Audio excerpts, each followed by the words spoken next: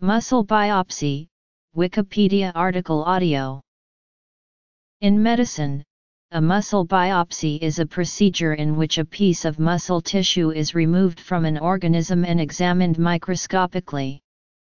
A muscle biopsy can lead to the discovery of problems with the nervous system, connective tissue, vascular system, or musculoskeletal system.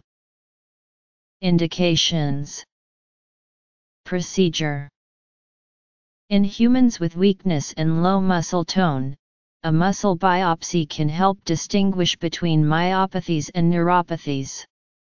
Muscle biopsies can also help to distinguish among various types of myopathies, by microscopic analysis for differing characteristics when exposed to a variety of chemical reactions and stains. However, in some cases the muscle biopsy alone is inadequate to distinguish between certain myopathies.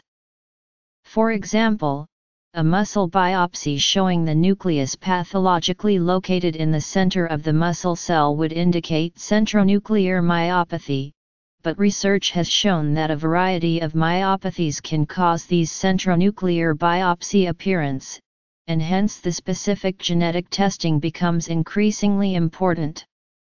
Additionally muscle biopsy is the only certain way to clarify one's muscle fiber types i.e. by undergoing a muscle biopsy one can get a clear picture of which type of muscles dominates his slash her body. A biopsy needle is usually inserted into a muscle, wherein a small amount of tissue remains. Alternatively, an open biopsy can be performed by obtaining the muscle tissue through a small surgical incision.